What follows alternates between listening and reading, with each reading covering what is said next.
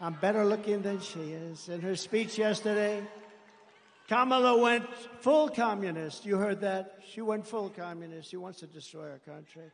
After causing catastrophic inflation, Comrade Kamala announced that she wants to institute socialist price controls. You saw that. Never worked before, never ever worked. This is the Maduro plan, Venezuela. Maduro plan of like the old Soviet Union. This is, they tried it. How did the Soviet Union work out? It became Russia, a smaller version. It was a smaller version. It will cause rationing, hunger, and skyrocketing prices, just like their Inflation Reduction Act caused, one of the great scams of all time. They got it approved with a beautiful name, Inflation Reduction, because inflation under their system has been so bad it's gone up much more than 50%. You know, they say 30, 40, 50, much more. People are being devastated. They're being devastated. But it's gone way up, way up. And they made a big mistake yesterday in her speech. I think she said, I, I had to play it back. You know, I love the playback controls you have nowadays.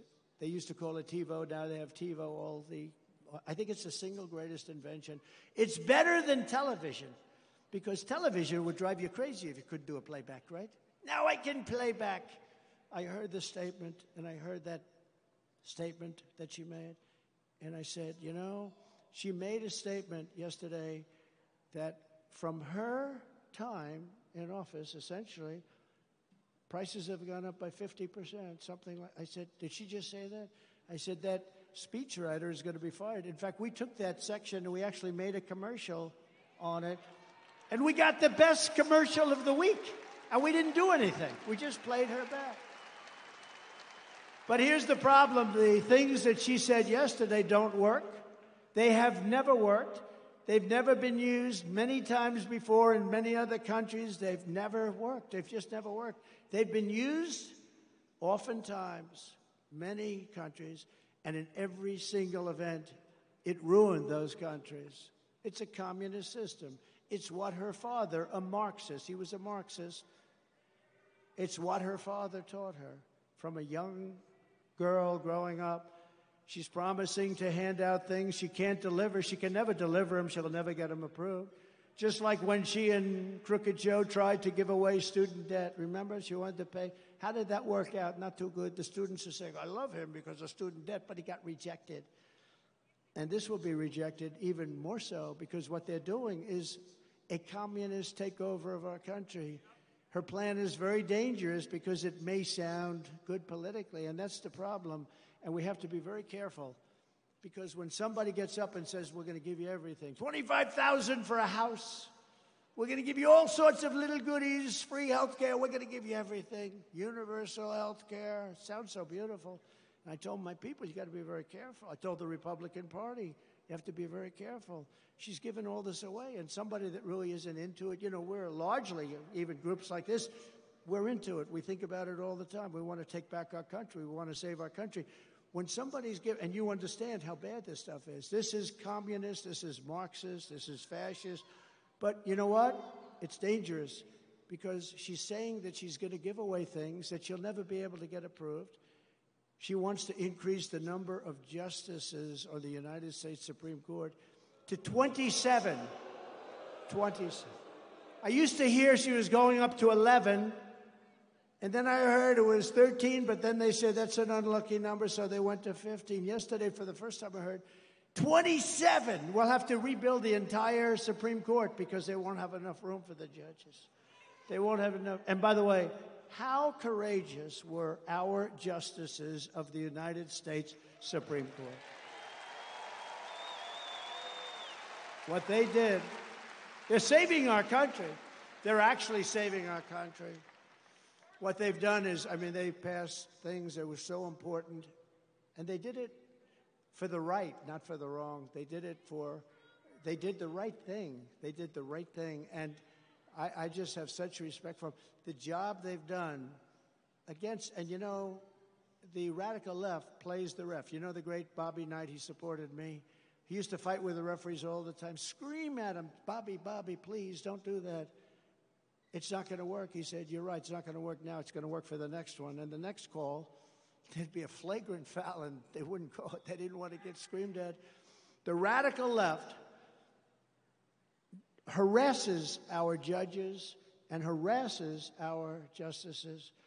They scream at them, they call them names, they say they're incompetent, they're horrible, they're this, they're that, they should be impeached. They're constantly saying they should be impeached, but they're screaming. And you know what?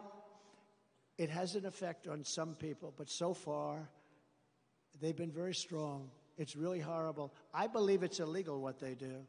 And it's a, it's a, I'm trying to give you things that you've never heard before, and this is true. I believe they are playing the ref. They're constantly criticizing our great, some of our greatest justices and a lot of great judges. You know, I kept hearing so much about the Florida case because, you know, they weaponized our system, our government totally weaponized it. First time it's ever happened. And they said, my biggest case is in Florida, Florida, Florida. And we had a very uh, brilliant, I don't know the judge, but a fair and very brilliant judge who took tremendous abuse. Would have been so easy for her to just rule against me, but she didn't do that. She ruled. For, she threw out the whole case. It was thrown out. That was a big case, and I have such respect for her because she is, in fact, brilliant. But they were hitting her so hard. She's going too slow. She's that. She should be removed immediately from office. She, these people are horrible. I really think, I really think it's illegal what they do with judges and justices. They're playing the ref no different than Bobby Knight, and he was great. He endorsed me, and Indiana was mine. He was a great coach. He's the last coach to go undefeated. I guess he was like 38 and 0. For some reason, they've never had another college team since then. That was many years ago. And he came out in favor of Donald Trump, and it was a big thing. I won Indiana by a landslide because when Bobby Knight from Indiana endorses you, you win. Sort of like when I endorse you, you win too. We have a very good record of endorsement.